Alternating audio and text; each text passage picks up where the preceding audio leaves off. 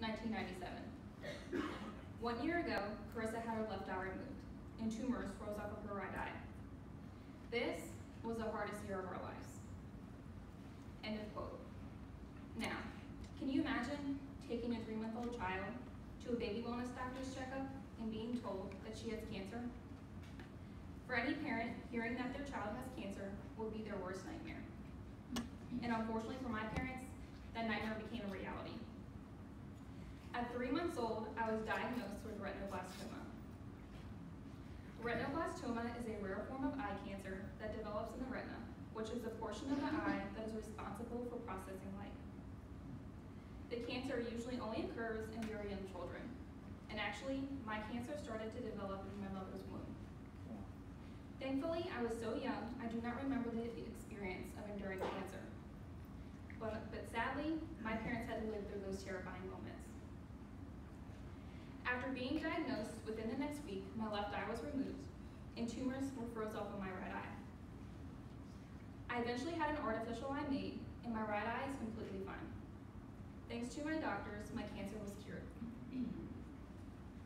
My parents' strength is the reason I am here today. They're the reason why I chose radiation therapy as a career.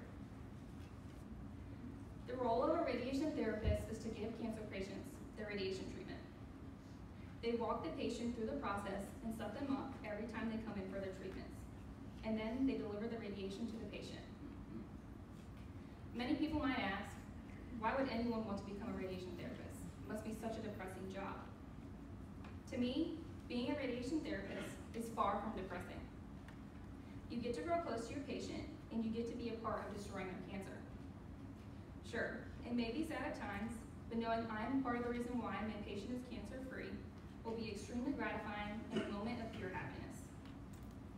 Thankfully, when I had cancer, I never had to receive chemotherapy or radiation.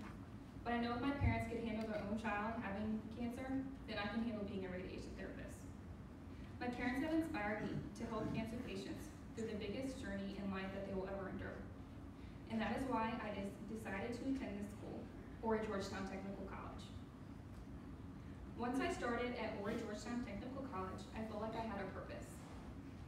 This college quickly became a place of happiness for me, and my mind was set on nothing but greatness. I have a 4.0, and my parents are the reason why I strive for nothing but excellence when it comes to school. They have taught me that nothing can ever stop me, not even cancer. In the fall of 2018, I planned to transfer to Augusta University's radiation therapy program. The program only accepts seven students, so I know I will have to work very hard to get into the program.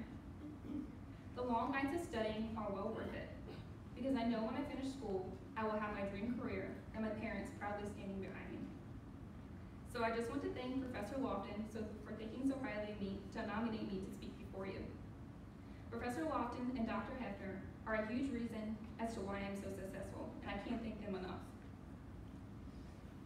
Horry Georgetown Technical College has brought nothing but the best experiences for me, and I cannot wait to walk across that stage tomorrow. I do not want any of you to hear my story and think that it is sad, because it is not. If I never had cancer, my parents and I would not be the people we are today.